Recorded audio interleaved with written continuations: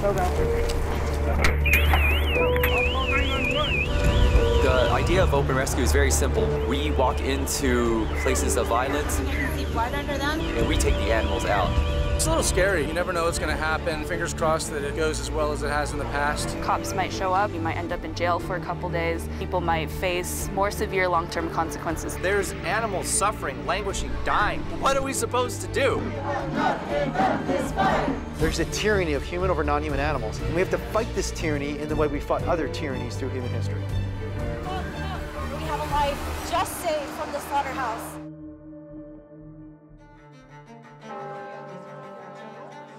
Bring it in, everybody. Come on in.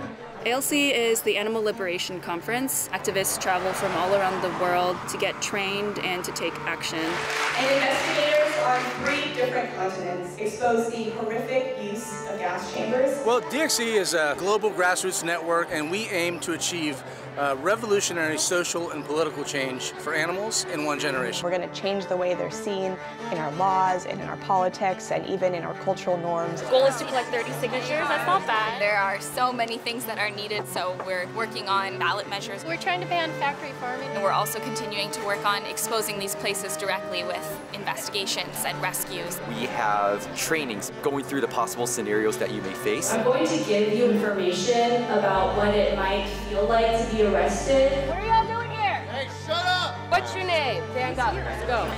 We can use the criminal justice system as a platform because who can deny that it's not the privilege of every human being, but every animal too, to be protected from the most grotesque criminal abuse? If we really believe that, let's fight for it in court and let's stake our own freedom on it.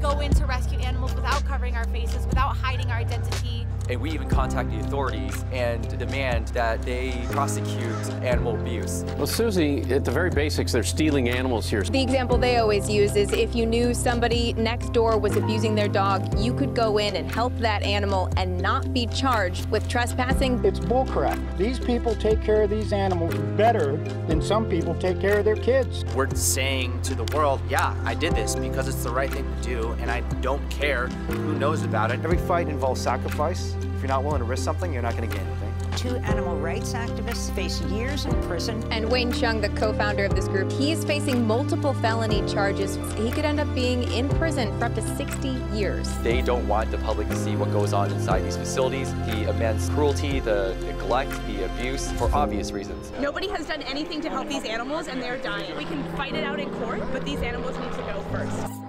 We tried this traditional legislative route. We tried going to the DA in Sonoma County saying, hey, here's evidence of criminal animal cruelty in your farms. You go to the animal control, you go to the police, uh, and what do they do? Nothing. No video, no still photo. That's why people end up risking jail time, risking arrest. It's just because,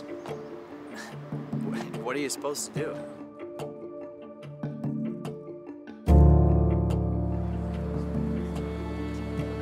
We're going to Petaluma Poultry. It's a slaughterhouse that supplies for Perdue. They supply to Whole Foods, Trader Joe's, and it's one of the largest slaughterhouses in California for chickens. And it's a terrible place, and our friends have just rescued four chickens. We want to go support them right now, and I hope they can rescue some more. Yeah. I'd be very surprised if there are not any police at the at that facility right now. Here we are.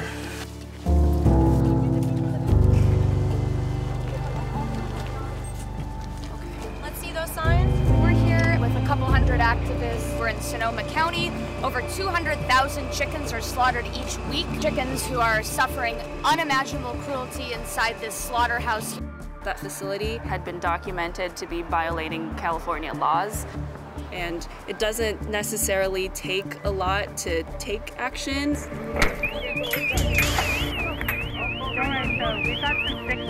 It's really deciding that you're that person who wants to do something about it and being willing to do whatever it takes to carry it out. Fucking swinger.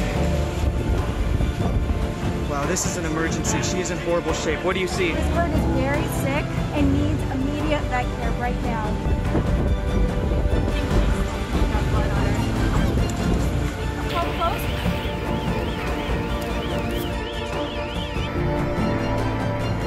Driver, be ready.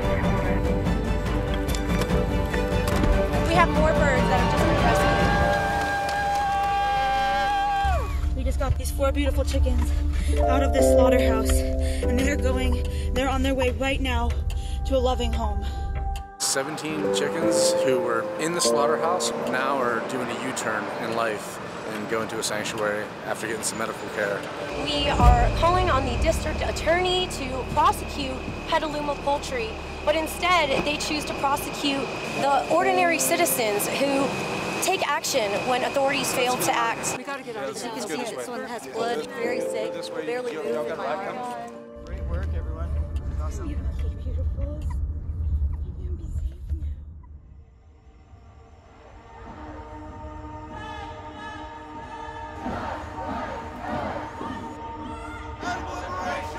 So this is the biggest march that happens in California every year for animal liberation.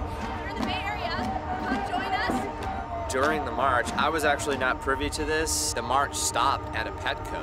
And right here, there have been so many investigations showing the horrific and awful ways that animals are bred, transported, confined, how they die in these places and stores like it. Two activists went in there, took the animals, did not pay for them. You know, there's security cameras in there. There was a live stream of it as well, and walked out of there.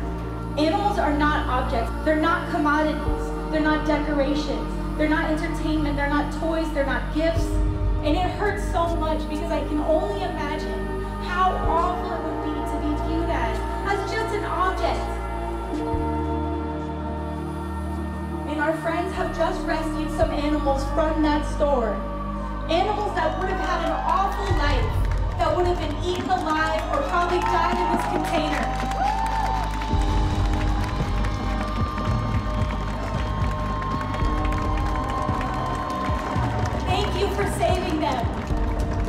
We take actions like this because not only do we believe in a better world, but we actually dare to make it happen and create it right now. These animals are now going to live the best lives that they've ever had. And it's so beautiful.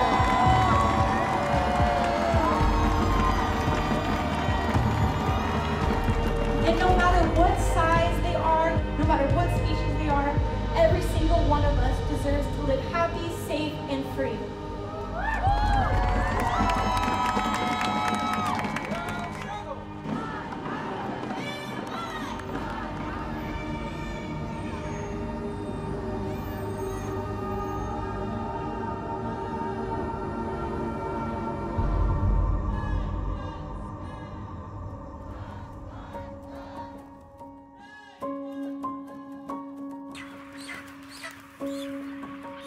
I genuinely believe that these moments that we have together right now are animal rights history being made.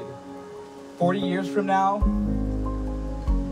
I think people will look back on these moments as as important as civil rights history, securing the right to rescue, securing liberties.